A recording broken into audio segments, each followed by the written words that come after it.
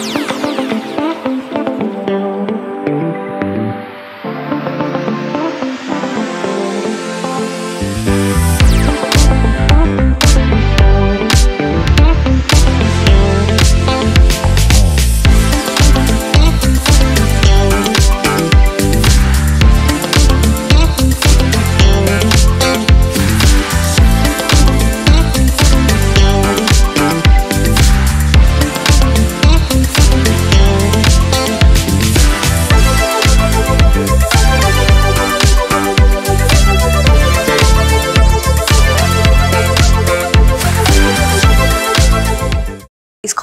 කාලේ මට මාව ගොඩක් අය දන්න ඩාන්සින් කරන චත්‍රිකා කිව්වොත් මොකද පාසල යන කාලේ නර්තනයට මම ගොඩක් දක්ෂයි. රංගන ශිල්පිනියක් විදිහට මේ ශ්‍රේෂ්ඨට එන ෆිල්ම් එකක් කරහා. මේ ප්‍රෝග්‍රෑම් එක මුලින්ම බලන කෙනෙක් ඉන්නවා නම් එයා සමහරට දන්නේ නැති වෙන්න පුළුවන් නේ සමහරට මාව දන්නෙත් නැහැ මගේ නම කිව්වට දන්නෙත් නැහැ මම දන්නෙත් නැහැ ප්‍රධාන චරිතය කරන ගෑනු ළමයාගේ හොඳම යාළුවා විදිහට මට චරිතය හම්බ වුණා. ඉතින් එතනින් තමයි මගේ රංගන ගමන පටන් ගන්නේ රංගන ක්ෂේත්‍රයේ ගමන තමන් රඟපාපු චිත්‍රපටයක් හය පාරක් ටිකට් අරගෙන බලපු චරිතයක් නේ. ලොකු තිරේක ඒ කියන්නේ මේ සිනමා තිරේක මාව දකින පළවෙනි අවස්ථාව තමයි ද ගේම් කියන්නේ. හැබැයි චතුර් රාජපක්ෂ කියලා කියන්නේ ටිකක් නපුරු කෙනෙක්. හේතුව මම මම කාවත් හුරතල් කරන්න යන්නේ නැහැ. මට හුරතල් කරන්න බෑ. නේ අපි ඉතින් එදා ඉඳන් යාළු විදිහට ආශ්‍රය කරනවා. අපි එක පැත්තකින් කතාව. ඔව් ඒක ඩ්‍රයිවර් කෙනෙක් කියලා කිව්වා. එයා මට ඒ වෙලාවේ ඩ්‍රයිවර් වුණා. තරුවක් වෙන්න හැමෝටම පුළුවන් කමක් නැහැ. හැබැයි රුවඇති තරුවක් වෙන්න ඒත් හැමෝටම පුළුවන් කමක් නැහැ. ඒවගේම තමයි මේ හැම අභියෝගයක්ම ජයාරගෙන සෝත්සාහයෙන් ජයගෙන තරුගුණාංග රැකගෙන ඉන්න අපූරු තාරකාවියකට හද සරසවිය YouTube නාලිකාව හැඩවත් කරන්න වර්ණවත් කරන්න අපේ කතා බහට අපි ආරාධනා කළා. එක පැත්තකින් ඇයිතාම නිහතමානී ආදරණීය චරිතයක්. බන්ධනා ඇය ගගන පියවර වැනි ටෙලිනාට්‍ය කිහිපයක රංගනදායකත්වය ලබා දුන්නු චරිතයක්.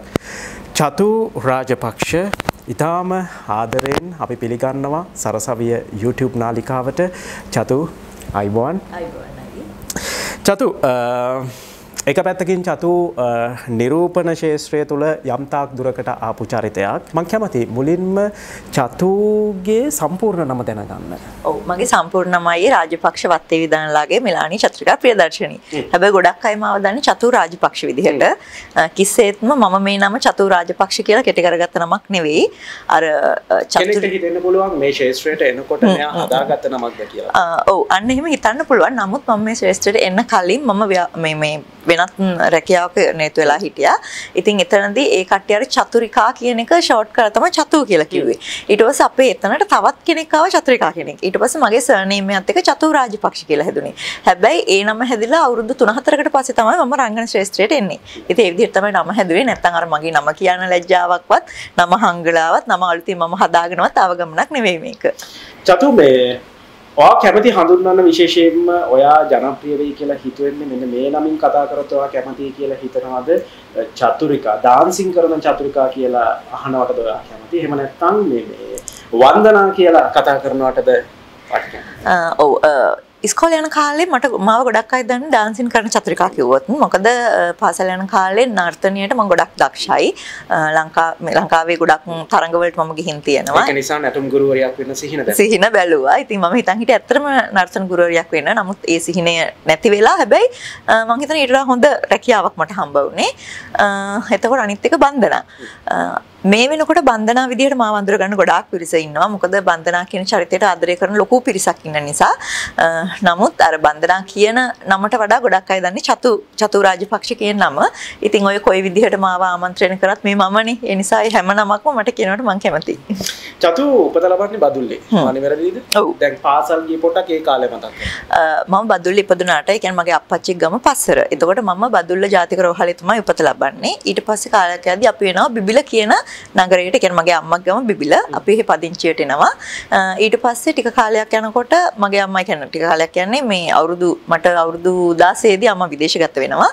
මම ගියේ මොනන්නපුරා මහාවිද්‍යාලයට මේ වෙනකොට ඉතින් මම මෙහි තමයි පදිංචි. මේ දවසල මොනවා චතු වෙන්නේ ශේත්‍රය කටයුතු? මේ දවසල් ටෙලිනාටයක් ඉදිරි මගේ ටෙලිකාස් වෙන්න අයිටන් ගගන පියවර එක මහේෂිකා කියන චරිතය හරහා මව ප්‍රේක්ෂක අඳුර ගන්නවා. ටිකක් සැර පරස චරිතය නමුත් ප්‍රධාන චරිතයක්ම එතකොට තවත් අලුත් ටෙලිනාට්‍ය දෙකක් ඉදිරියට දෙකනේ තුනක් එන්න තියෙනවා. ඉතාමත් ඉක්මනින් බලාගන්න පුළුවන් වෙයි. දැනට මේ දවසල ප්‍රේක්ෂකයට ම බලාගන්න පුළුවන් ගගන පියවර හරහා විතරයි. දැන් එක පැත්තකින් ඔබ කාර්ය බහුල වෙලා තියෙන චරිතයක් රංගනයකින් වැඩාත් කැමති රංගනයටද එහෙම නැත්නම් නිරූපණ ක්ෂේත්‍රයට ඒක මෙහෙමයි. මම මුලින්ම මේ ශ්‍රේෂ්ත්‍රයට එන්නේ නිරූපණ ශිල්පිකින් ශිල්පියක් විතර. හැබැයි මම රෑම්ප් කරපු කෙනෙක් නෙවෙයි. මොඩල් කෙනෙක් නෙවෙයි මම.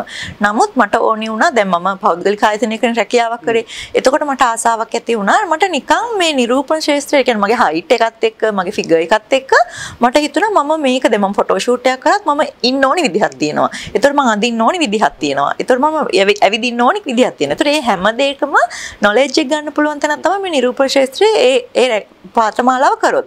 අන්න ඒ නිසා මම නිරූපණ ශේත්‍රයේ පාඨමාලාවක් කළා.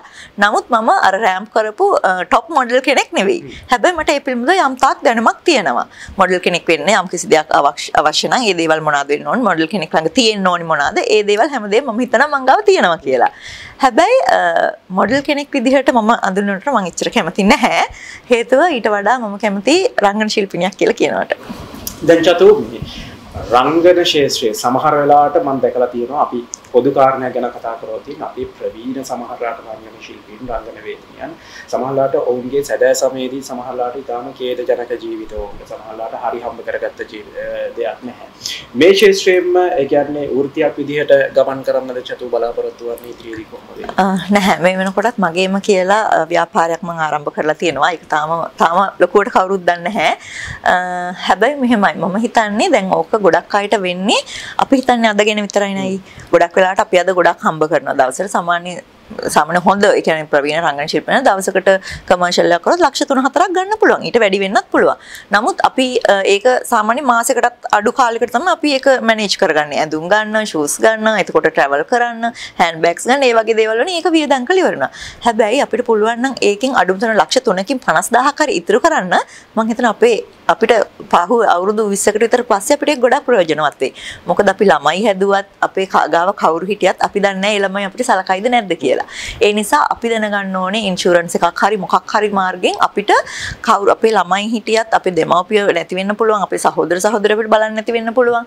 ඒ නිසා අපි දැනගන්න ඕනේ අපිට වයසට ගියාම ජීවත් වෙලා ඉන්න පුළුවන් කන්න බොන්න තියෙන විදිහට අපි දැම්ම හැමදේම මැනේජ් කරගන්න ඕනේ. එහෙම නැත්නම් එහෙම අපිට බෑ අපි අපි දිහාරියා බලයි මෙයා බලයි මේ ළමයා මට ඉඳගෙන කියලා කියන්න. මොකද අද කාලේ වෙන දේවල් එක අපිට අපිවත් ෂුවර් කරගන්න බෑ. චතු දැන් මේ එක පැත්තකින් ඔයා සමහර වෙලාවට ඉතිහාසගත වෙන චරිතයක් මේ. තමන් රඟපාපු චිත්‍රපටයක් හය පාරක් ටිකට් අරගෙන බලපු චරිතයක් නේ. ඒක ගැන ප්‍රේක්ෂකයන්ට. ඔව් අයි මම මුලින්ම රංගන ශිල්පිනියක් විදිහට මේ ශ්‍රේෂ්ඨට එන්නේ ෆිල්ම් එකක් කරහා. ඒ තමයි වී සිවදාසන් සර්ගේ පාටක් නැති ආදරයක්. ඕකට එතනට මම ආව හැටිත් මම කියන්නම්.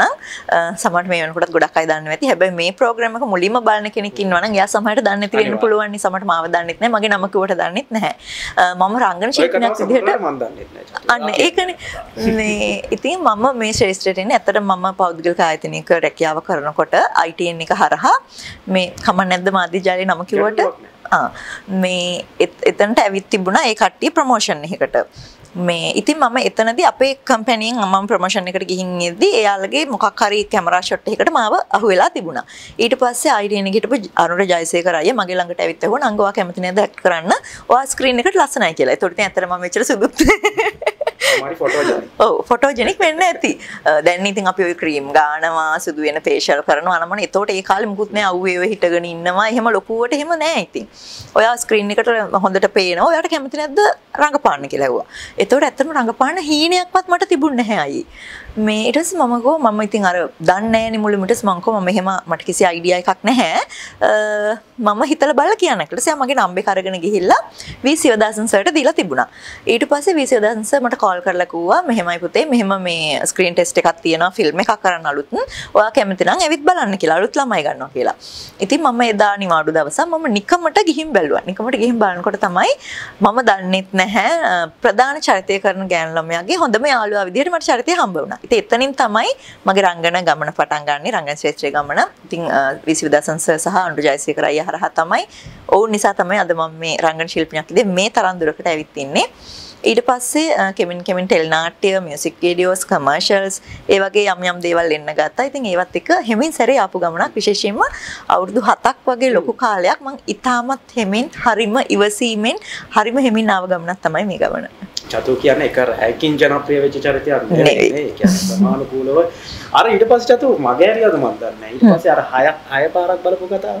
ආ ෆිල්ම් එක නේද? ඔව් ඒක මේ අතරම මිස්සුණා. මේ ඔව් ඉතින් මම මුලින්ම ආ ෆිල්ම් තමයි විසදසන පාටක් නැති ආදරයක්. හැබැයි ඒ ෆිල්ම් එක තාම තිරගත වෙලා නැහැ. ඊට පස්සේ කිඩ්නැප් ඊට පස්සේ ගිරිවැසිපුර ඊට පස්සේ තමයි ද ගේම් කියන ෆිල්ම් එක එන්නේ. ඉතින් මම ගොඩක් ටෙල් නාට්‍ය කරලා තිබුණත් ෆිල්ම් කරලා තිබුණත් මම ලොකු තිරේක ඒ කියන්නේ මේ සිනමා තිරේක මාව දකින පළවෙනි අවස්ථාව තමයි ද ගේම් කියන්නේ. ඒකත් මං චූටි කාලේ දැන් අපේ ගෙදර පුංචි කාලේ ටීවී එකක් තිබුණ නැහැ. අපේ පුංචිලා ගෙදර තමයි ටීවී එකක් තිබ්බේ. එතකොට අපි ෆිල්ම් එකක් බලනකොට ගොඩක් වෙලාවට ගියේ රංජන් රාමනායක මහත්මයාගේ ෆිල්ම්ස්. එතකොට කවදාවත් එහෙම ටීවී එකක් බලනකොට අපි හිතන්නේ නැහැ මට මෙයත් එක්ක ඇක්ට් කරන්න හම්බෙයි කියලා.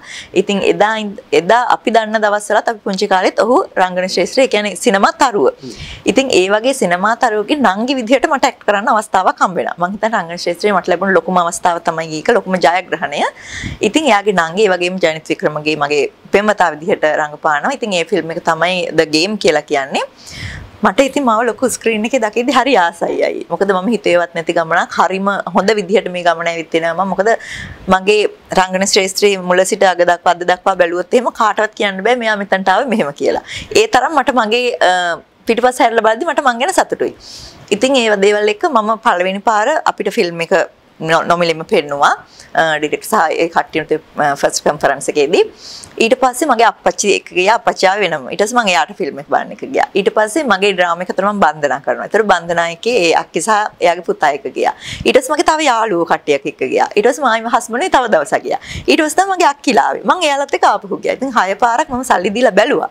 මේ මං ඉතින් තාමත් ආසාවෙන් ඉන්නවා. තව පියෝ ටීවී හරි මොනවා හරි දෙයකින් මගේ ෆිල්ම් આવොත් මං හරි ආසයි ඉතින් බලන්න චතු අපි ප්‍රවෘත්තියක් කියමුකෝ ඇත්තට මේක දැන් දැන් ඔයත් ප්‍රවෘත්ති කියන කෙනෙක් මාත් ප්‍රවෘත්ති කෙනෙක්. හැබැයි මම මේ ප්‍රසන්ට් කරනකොට අපිට ඕනි දෙයක් කියන්න පුළුවන් මෙහෙම කතා කරනකොට. නමුත් අර ප්‍රවෘත්ති කියනවා කියන්නේ අපේ ස්ක්‍රීන් එක දිහා බලාගෙන ඒකේ තියෙන කර නැත්නම් ස්ක්‍රිප්ට් එක දිහා බලන කියන එක.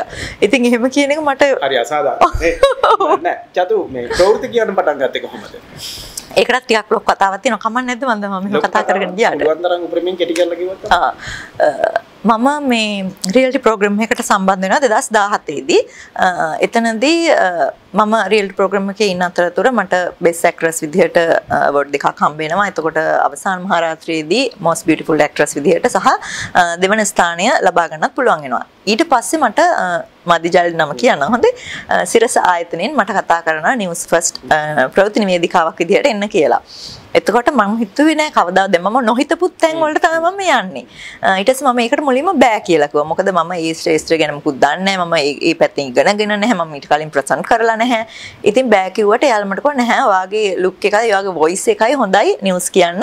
ඔයා නිකමට ඇවිත් ස්ක්‍රීන් ටෙස්ට් එක කරන්න කියලා. ඉතින් මේ අපේ ෆිල්ම් ස්ටාර් ඒ රියල් ප්‍රෝග්‍රෑම් එකේ හිටපු තවත් කීප දෙනෙක් එක්ක මම ගියා. ඉතින් ඒ අයගෙන් මට විතරයි chance එක හම්බ වුණේ.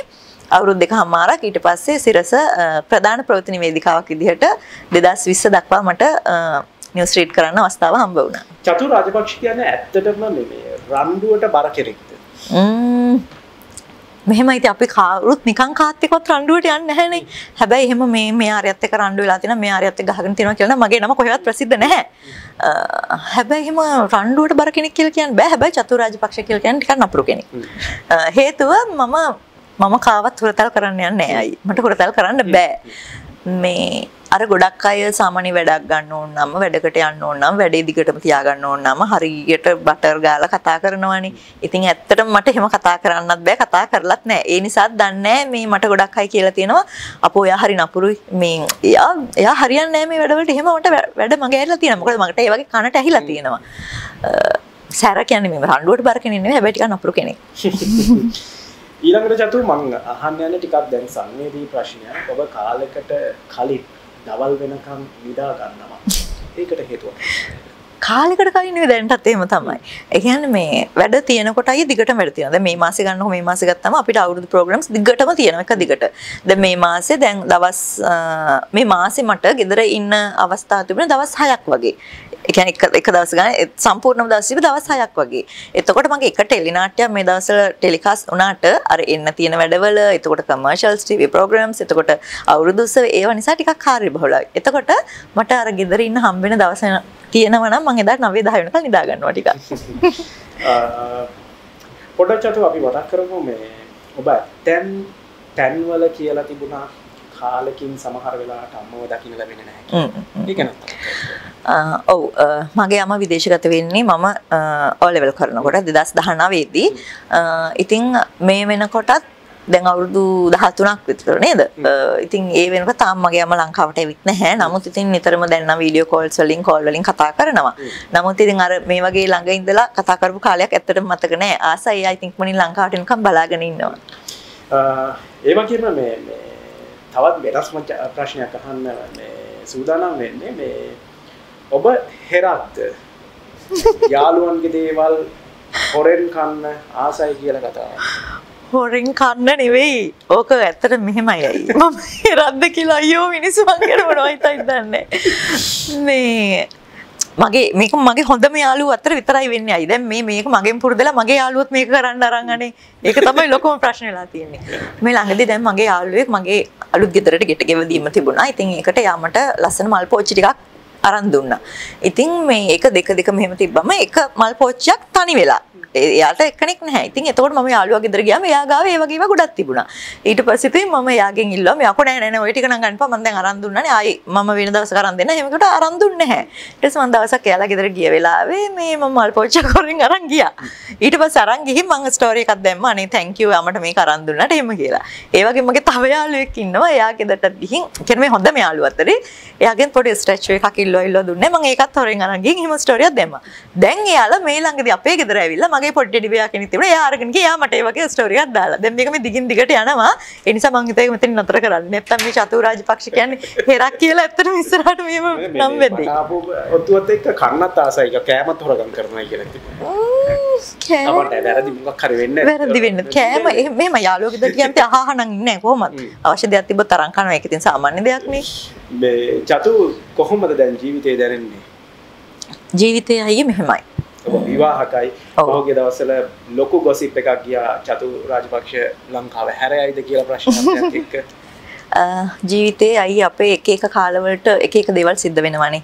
අ, සමහර වෙලාවට අපේ ජීවිතේ නොගැලපීම් ස- නො- නොගැලපෙන සම්බන්ධ තිබිලා අපි ඒවා ඒ වගේ ඈත් වෙලා හොඳ තැන්වලට එනවා. හැබැයි මේ අපි එතකොට අර නොග- නොගැලපෙන තැනක හිටියා අපි නොගැලපෙන කෙනෙක් සමග හිටියා කියලා අපි ඒකම ඒකම හිත හිත ජීවිතේ සෆර් කර කර ඉන්නවට වඩා හොඳයිනේ අපිට අපිට හොඳ කෙනෙක් හම්බනවා එයත් එක්ක ජීවත් වෙන එක. ඉතින් අ, මගේ ජීවිතෙත් ඒ විදිහට වෙනස් වුණා. අ, නොගැලපෙන සම්බන්ධතා කීපයක්ම තිබුණා. ඉතින් ඒවත් එක්ක බලනකොට දැන් මම ඉතාමත් සතුටින් ඉන්නවා මගේ ස්වාමියාත් එක්ක. අ, ඒ වගේම තමයි ඔය අ, රට හැරදා යන කතාව නම් සම්පූර්ණ බොරු. මොකද පහුගිය දවස් ටිකේ මම විදේශගත වෙලා හිටියා. ඒ නිකන් අර ට්‍රැවල් කරන්න විතරයි ගියේ. ඇත්තටම සතියක් දෙකක් එහෙම ගිහින් එනවා. ඒකට තමයි පොඩි ගොසිප් ටිකක් හැදුනේ. අර අපි යනවා කියලා ෆොටෝ එකක් දැම්මත් ඉතින් අර සාමාන්‍ය පේජ් ඇඩ්මින්ලා ඕව අරගෙන ගහන පොඩ රීච් එක වැඩි කරගන්න. අ, මගෙන් ගොඩාක් අය මෙසේජ් කරලා අහලා තිබුණා. ඇත්තටම දැන් ඩ්‍රාමා වලට මොකද කරන්නේ? මේ පටන් ගත්තේ වට නම් ඇයි එහෙම ඔයා ගියාද කිව්වේ නෑනේ කියලා. ඇත්තටම මේ කෙනෙක්ට මම ඔන්න ඕකට කියන දෙයක් ම්, කෙනෙක්ට කියන්න කලින් දෙයක් දාන්න කලින් අ, අනිත් කෙනාගේ ආත්මගරුත්වය අනිත් කෙනාගේ සිටුේෂන් එක පොඩ්ඩක් හොයලා බලලා දැම්ම නම් ඊට වඩා ලංකාව සාර්ථක ලංකාව කියන්නේ ලස්සන ලංකාවක් වෙයි.